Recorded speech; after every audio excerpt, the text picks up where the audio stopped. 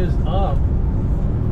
So today we are heading to Durham, North Carolina, to talk to. Yeah, it's probably easier if you hold the camera. That's. Uh, so we're heading over to Back to Blading, uh, his backyard. He has a ramp that's a couple years old that he needs gone. So we're hoping that we can salvage most of it, and uh, yeah, that's what we're gonna do right now.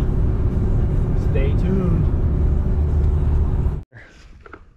Um, let me know because As soon as I get and I haven't. I'll say you haven't shot you haven't shot videos in a minute. it's been. I mean, uh, well, you've got obviously you got a skate company to. well, there's that and the um, my back.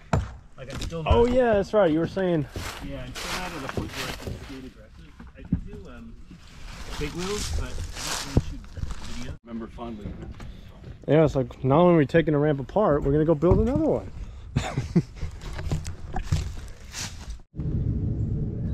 Bro, why are you not done yet? Did you put a hole in the ramp? What? Dude, there's a weight limit. What's going on? Like that, like one side is just destroyed. Yeah, termites, man. We're back. We're back at it. We're they're gonna call us the Termite Brothers. But here we are, back to Blading's mini ramp. Uh, this is the first layer. Other layer has kind of been taken apart, but we can save a lot of this for our mini ramp and a lot of work to do.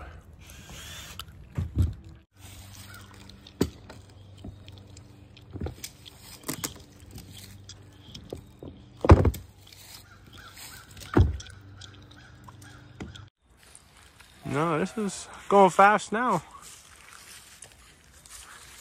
If only it was that easy to build it too. Right now. That.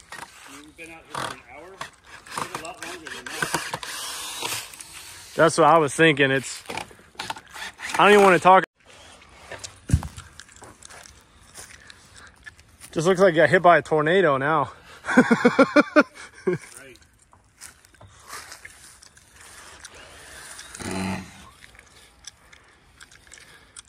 Oh, I was like, where you at?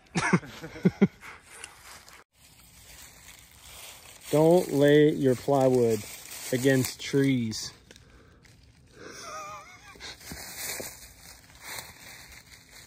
It's stuck. The tree has owned it. It took over. It claimed ownership.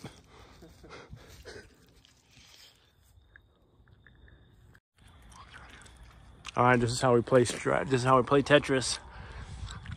It's about 400 pounds too heavy. No, I'm just joking.